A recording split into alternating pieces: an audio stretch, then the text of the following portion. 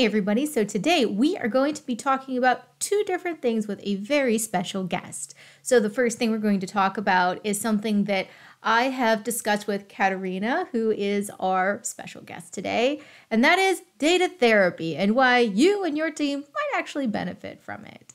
And the second thing is a piece of wisdom that Katariina had passed on to me, which is how to talk to your end developers or end data scientists about ontologies and how you can get their buy in by helping them understand that the ontology basically helps them boil down what those business rules are so that they don't necessarily have to go and talk to a bunch of the business owners. So, if it sounds interesting to you, keep on watching.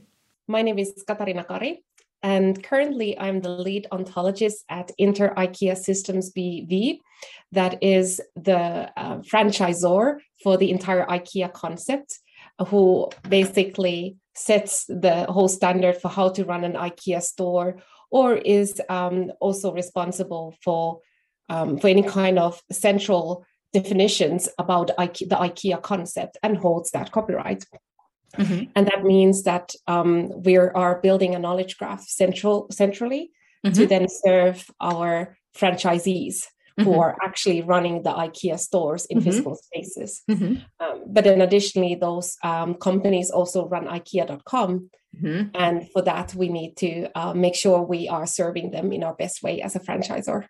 Yeah. And, and I wasn't aware of all of the work behind uh, IKEA, but now because of our interactions at you know connected data world and the knowledge graph conference and a few other things. I've gotten to know you a lot better in, in what you do in your day-to-day life. And i mean i think as soon as we started talking i was like oh kindred spirits.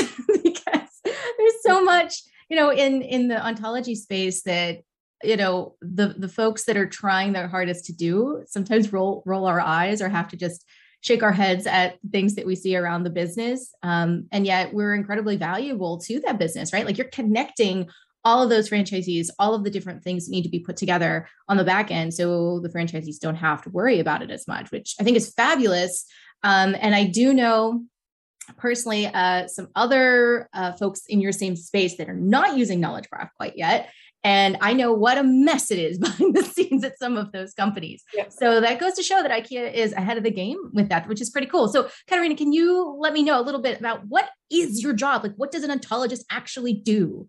Yeah or what does a lead ontologist actually do right additionally because um, well i mean an ontologist would i always tell that i'm i'm basically responsible for how for how the knowledge graph is shaped and if you don't know what a knowledge graph is then i say i'm responsible for making sure that uh, computers understand all the information around for example the ikea knowledge mm-hmm. uh, the home furnish like interior design know-how that yep. we have an abundance of that yep. make sure computers understand it but i also make sure that it represents it in a way that humans understand it and humans can contribute to it. Mm-hmm. so at selected endpoints i make sure that humans know exactly what they need to input what kind of information and knowledge they need to input and i make sure that systems can use it likely because we we both know a knowledge graph is a bridge between humans and systems. Yes exactly exactly. Nicely put. So I do want to make sure because again, I reference it all the time now on my channel.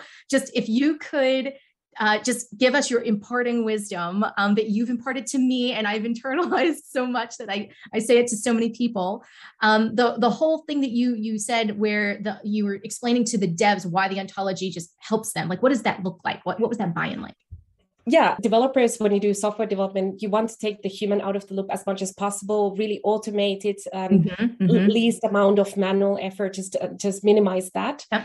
um, and then when I explain to them that an ontology or a knowledge graph, it basically an ontology is talking to stakeholders and making sure that all the implicit knowledge they have is expressed in an explicit uh, structural format that systems can also read. Then, uh, like a light bulb, like lit in their head, like, oh, so it means we do not have to talk to stakeholders. And I was like, yes, it means you don't have to talk to stakeholders. You can basically have the ontologies talk to the stakeholders and put yeah. it into a format that you just query.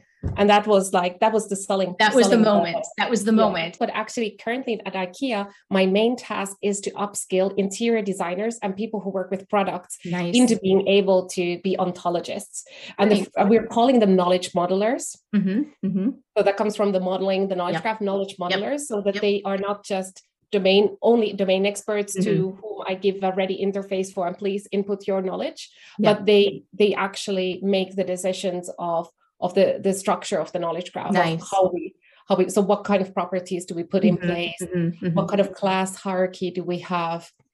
The data that's, structure and that's great. I'm so happy to hear that you are empowering your smes because i think oftentimes we kind of split the duties and you know sometimes that does have to happen. Like a, a good example is um, like legal knowledge graphs. A lawyer i mean they just don't have the time. They they are not really allowed even to, to get into the data structures all the time. Some of them do. In fact strangely enough i know a lot of people that are ontologists that used to be lawyers. I don't know what that connection's about but a lot of them a lot of them at least the people I know in my network. My vision is that in the future, anyone who is writing like their master thesis on humanities or doctoral thesis mm-hmm. will also express that uh, same thing in RDF. I love it. I love it. That's great. It is because they are always looking at, the, they're kind of systemizing the knowledge. Yeah. They're, they're looking at things and they're creating a model they're always yeah. creating a model yep. for something yep. describe something a framework yep. to understand like especially in history you do create a framework mm-hmm. you do mm-hmm. have your central concepts and that's like when you were asking how do we go about it i do teach them first the data therapy so the oh I nice. I heard it from you the word yeah. data therapist yeah which is basically what are the things what are these individuals what are like the common terms you're using yep. much like you would do for a glossary in yep. uh, humanities master thesis and so so what are the concepts uh, yep. and and how would you group them mm-hmm. and with groupings you can find different things you can find either uh, class hierarchy or you can find some part-whole relationships mm-hmm. or other kind so the groups are not the groupings can like lead you to many things yeah yeah um, it can also be just a thematic group so it doesn't actually involve the modeling. And then in the end like when if you have your organization how would you connect them? Like how do exactly. they then relate to each other? So that's the, last step. And and um, yeah we call it data therapy every day in our team yeah nice. I love it. i love it. Most teams love data therapy. Oh They're great. like we should have done this ages ago. Love it. Why are we doing it today? We should have done it like years ago. And yeah yeah because data therapy as the word implies is also for them exactly. to understand their own field. Exactly. And um, they're basically i mean i always say that building an enterprise knowledge graph is a challenge for the organization because maybe for the yeah. first time in their lives they need to be explicit about the terminology they use. So true. So true. Yeah. and, and and i think that it at first it's a little scary you know like people mm-hmm. get scared like well, this is my job security. I've, I've heard that a lot. Like, oh no, but I oh. can't, I can't, this is my stuff. And that's why I stick around. but then yeah. I think when they start to see that that specialty that they're, that is in their brain is mm-hmm. now something that they can use and scale. And it's, it's something that they're still, you know, humanly, they, they understand way more than a machine is ever going to know. Right. So that, that helps with the whole job security, um, you know, fear. But then I feel like people get so uh, it's freedom for them right because it's now so explicit that they don't have to keep explaining it and explaining it and explaining it and it can actually be used appropriately and in a way i think a lot of us too you know we put so much blood sweat and tears into our job that to know that our knowledge can live on in a way uh, through the mm. knowledge graph is is really nice to know that you know if you decide to leave your job or maybe something happens and you retire early or something like that yeah. your work isn't going to fall over after you leave, which is really important. Yeah, and it doesn't uh, actually render this person unneeded because exactly. when when we have when we're setting these kinds of we call them control vocabularies, for mm-hmm. example, mm-hmm. then we do in order to in order to say that it is of quality, we have said that it needs to have ownership mm-hmm, mm-hmm, ownership mm-hmm. like at, at, least one person a contact person but also ownership in a team in case individuals leaves but the team yep. remains yep and so this person actually becomes much more important because they're now the contact person and the person yep. people go ask about yep. these things and they're named for it yeah yeah and it's that uh, that attribution i think that also helps there's so many um, silent heroes at our organizations and this helps them have that ownership and and get that credits almost on even like the minute things that keep the business running that a lot of folks might not have normally been able to to find and acknowledge. Yeah. and it's it's interesting. Another another reaction i have to all of this is oh artificial intelligence doesn't have to be creepy. Oh that's great. I like that one a lot. It doesn't have to most of the people i talk to they're like oh it's magic. It's so sexy. It's so cool. And it's like yeah, yeah. I, I, don't hear the creepy part as much, but you know, I can certainly see how that's uh, a popular thinking around it. When you're working with designers or artists or very hum- humane people, which IKEA is full yeah. of, like yeah. the whole culture is about we're these we're these humble people from Sweden, from this small town in Sweden that you know happen to make this great furniture, and all we care about is a better life for for anyone. Yeah. For, or for the many people, as we yeah. it in IKEA. Yeah. So so the values are very humanistic, very um, nice. um, inclusive, and it is not a tech company at all. Yeah. It's a furniture yep. company. Yep. Yep. And, or home furnishing, um, interior design company. Yep. And that means that for them, machine learning, they, they the first question is, what about data security and GDPR and, yep. and those kind of things? They're super critical. Yep. And and when I explain to them that with the knowledge graphs, you can have a say in artificial intelligence, like yeah. you bring human voice uh, yeah. into artificial intelligence, because knowledge graphs comes from semantic web, which is symbolic yep. AI. So yep. we explain to the computer symbols humans use. Exactly. Then they're like, then they light up and like, oh, so it's not creepy and it's not cold, but it's actually bringing the human voice. Yeah, yeah. No, and I, I think that that is a fabulous model for anybody watching uh, to, to follow is your company, right? So IKEA is human first and people first. And so because of your ethics that your whole company is is doing regardless of tech, you've you've ethically built out what you're doing and you have made it equitable for all the voices. And I think that is beautiful. And that is the way to scale things like these ivory towers are not going to cut it. And oftentimes those ivory towers are built by you know certain persona that you know are not very inclusive. And mm-hmm. this is a way to to help kind of break into the ivory tower a little bit too which i love. I mean good software is when you take the human out of the loop right? Like it's it's optimized for uh, having like being as automatic as possible and yeah. and lowering the manual effort as much as possible. Yeah and I'm not saying that knowledge building a knowledge graph is inefficient. I'm saying that knowledge graph is designed to have the human in the loop in the right place at the right time. Exactly. Exactly. It's it and that's that that's a good highlight is yeah, we you don't want to handcraft everything and use that um that handcrafted, not rigorous, not standardized human yeah. interpretation of things um, you know, in your machine learning, because then you don't have a common vocabulary is a great example. When I say mm-hmm. customer, do you mean the same thing as customer? But I think that's where the knowledge graph piece comes in the strongest is it, it forces that dialogue. Well, what do you mean by customer? How do I define customer? Is the machine defining it the same way we're defining it? right? And it's the customer saying in this cultural context and this cultural context. Yeah. so like the bedroom and like bedroom is something we can recognize in western culture but um, in japan you basically create your bed into the same space where you had dinner before. Yeah. Yeah. Yeah so it's not about rooms anymore. It's about it, spaces uh, yeah. with time constraints and yeah and and i mean i i'm a big fan of like color theory. I, I do a lot of mm. that because um, the data visualization kind of work that i do. And um, there's and i'll maybe put it up on the screen somewhere there's this beautiful um, graphic on all of the different you know majority cultures out there and the way that they interpret color. And so a great example is the color white is what in the West would be considered for weddings, but in some like in Japan, it's the color for a funeral. And it's very different. And if yep. you weren't aware of those things, if you didn't have uh, a way of translating those things across cultures and making sure that the machine understands that translation, you could be making some very bad recommendations on a product, for instance. Yeah, yeah. We're actually working exactly on color theory. Oh yeah. today we are modeling.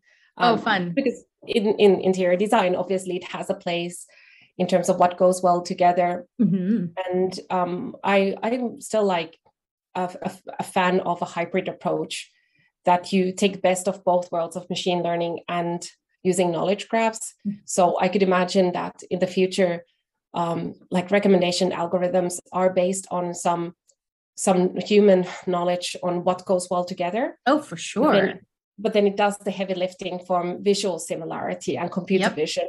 Yep. But then perhaps the computer vision knows what it is making the similarity on. Is it yeah. similar in color or similar in shape or yep. those kind of things? And then that's that's that's what we want to see in the future is hybrid approaches. No, but there is a, there's something very interesting there as well. Like what what are we basing recommendations currently in e, in the e-commerce space? Uh, yeah. Uh, we're basing them on um, personal data that you have consented to using cookies, but yep. because of like GDPR in Europe, uh, mm-hmm. less and less people actually consent to sharing that knowledge. Yeah. So so all the data for recommendations, which are now nowadays um, purely based on machine learning, is is like is getting less and less. Yeah. Yeah. But what can you base your recommendations on? Yeah general knowledge of what goes well together exactly right? exactly and that model that model is missing in most of the e-commerce stores yeah yeah but they would be brought in with a knowledge graph and it's definitely one of our selling points for recommendation yeah that they can like in in case they have personal data they can operate with that but they can get some get a get a baseline get like a, a little bit like common sense in yep. Google, for google maps products yep. that yep. they did yep.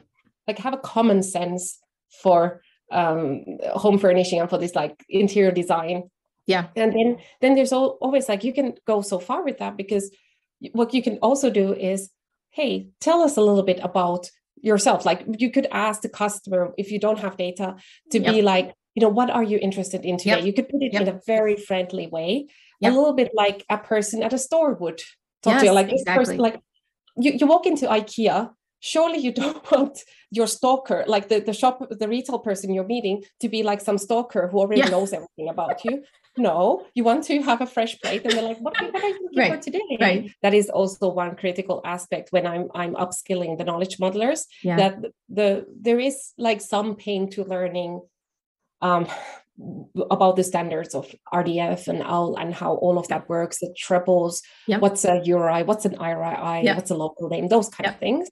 But then the tooling, like the tooling is very critical as yes. well for them to actually do their work and understand, okay, when I do this, um, it, it is it, it like this is what it means. Yep. Here are the ramifications of that decision.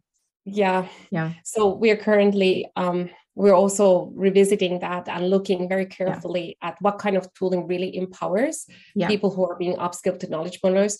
But yeah. at the same time, I try to start the training without any tooling so that the tooling doesn't shape their thinking, but they their thinking is based on some theory. Actually, yeah, I, I, think that's a really smart decision because um, I think as soon as you start to add in the tooling, uh, you know, to your point, it kind of leads them in a certain direction, but I also think it it can be intimidating. Oh, now I need to learn a new tool and I need to remember my login and I have to, you know, some people feel like this this need to go out and learn as much as they possibly can about a new tool while completely missing the point that sometimes, especially if you're new to uh, modeling in general, it's about the thought process. That's where you start. It's the thought process. How do you yeah. think about these things? How do you define these things instead of what tool you're going to use? I mean, obviously you have to get to that point, but if you don't understand if you don't think graph if you don't think in networks and and buckets and and clusters you're yeah. not going to understand the tool very much either yeah but most people do think in graph actually that's the they fun do. thing that yeah. domain experts are like oh yeah it's like a mind map i i actually do like it's very yeah. intuitive and that's why visual editing is so important yeah that, that currently we have just like hierarchy and tabular representations for mm-hmm. editing ontologies and mm-hmm. taxonomies mm-hmm. but we should really have graph like visual yes. yes to editing tools for yeah because that's how most people think absolutely like uh, the buy-in for a mm-hmm. knowledge graph project uh, usually comes from management the moment they see the graph. Exactly. Yep. exactly. I couldn't agree more.